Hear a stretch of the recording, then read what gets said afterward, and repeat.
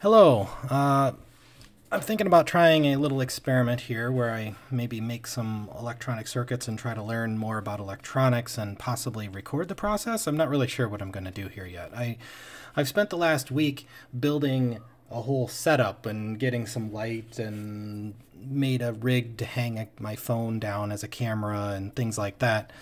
Uh, with the idea that maybe I would make videos and stuff with it. Um, honestly, it was probably more fun to uh, to build the rig, but we'll see what happens. Um, a long time ago, when I was younger, I was kind of into electronics, but not like in a deep way. I there's a ton I really do not understand. Uh, and recently, my oldest son kind of got into it a bit, and so I dug out my old parts, and he had fun building some circuits. And I'm wondering, not wondering, but I'm thinking about maybe kind of starting over myself. You know, try to try to learn some basic bits and I thought maybe I'd make videos of me doing that. I don't know if that's interesting or not. I mean, most videos are people who kind of already know what they're doing and they're telling you how to do it. And in my case, I don't think I'm in that category at all, so probably you should never listen to anything that I say.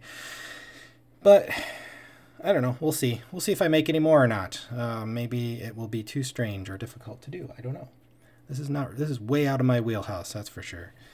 Um, normally a software guy, so we'll see how this goes. The, the main reason, though, that I really kind of got into this is that when I was digging through my old parts, I found this.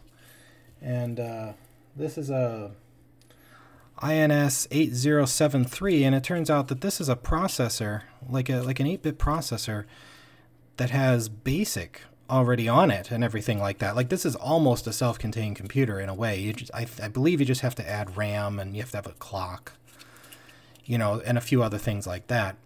So I don't know if I'll get there, but my quest, I guess you could say, is to at least get to the point where perhaps I can get this working or at least verify that the chip is okay. I mean, it might not be. it's been it's been in boxes and drawers and you know, in the in the garage and all kinds of stuff. I mean, I've had this chip probably probably 20 years at this point and I got it I think I got it when I went on a a road trip with a friend who was way into electronics, you know, and I just tagged along and we went to this store that was like, I don't know, near Chicago, which for me is four to five hour drive away. And it was like one of those really cool stores, you know, it's just tons of random stuff. You know, they had racks of chips and capacitors and resistors. And anyway, he knew what he was doing. I picked up a couple of things with the idea that maybe someday I would make a computer with it. Yeah, that was like 20 years ago. Anyway, I found it. And so hopefully I can get to that point. Uh, on the back here, I believe, is some static RAM, um, an SY2112A. Uh, probably will need something like that. I don't even even know if these are the right things to use. Anyway, this this is a long ways off. Um, for now, I think we'll start with something a little simpler, like maybe getting an LED hooked up, and we'll use that as a test run of my my rig here, I guess. So I, to do that, I know I'll need some power. So I have one of these little battery thingies. And I guess I need batteries, don't I? Yeah, that's how this works. All right. We got some power now. Good. Yay. All right.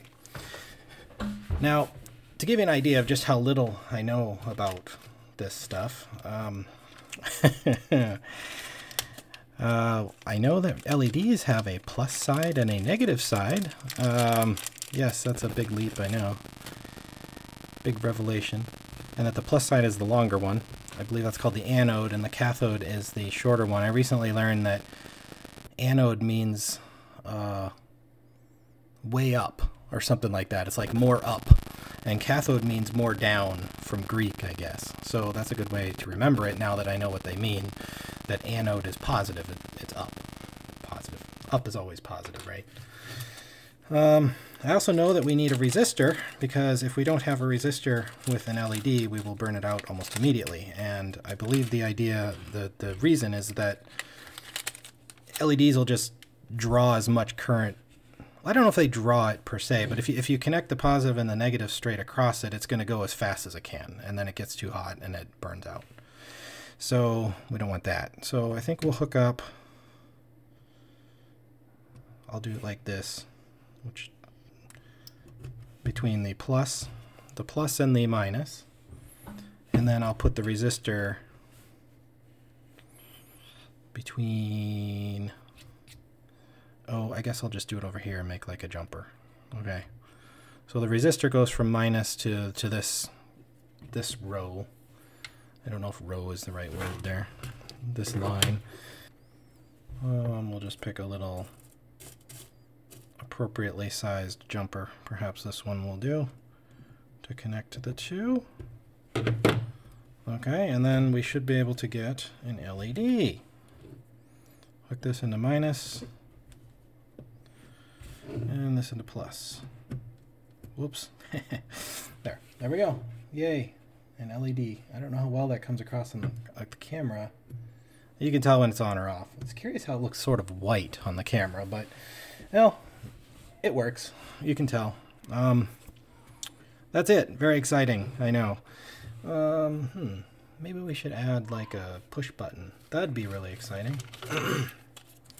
yeah, I'm not doing like a whole video here. This is really more of a test, but I might end up doing a tiny amount of editing just to go through the process and see how it works, you know, and, and upload it anyway. I mean, I have like, you know, four followers, so it doesn't really make any difference to me.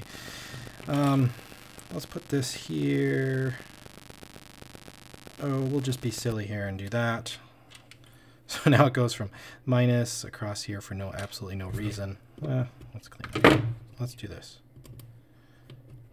Let's put this switch in here. I'm not actually sure which way they connect. If they connect from here to here or... Let's see if I can get the... Uh, I might disconnect this. Get it out of the way. Sorry about this noise. I don't know what to do about that just yet. Um, okay. Not con not continuity. Okay, so I have it set up so that they go across like that.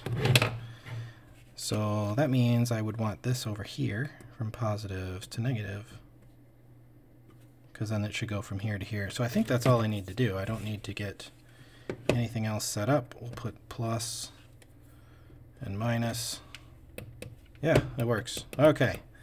Yes, this is where we're at. So you can imagine how somehow we're going to get to this point. Maybe.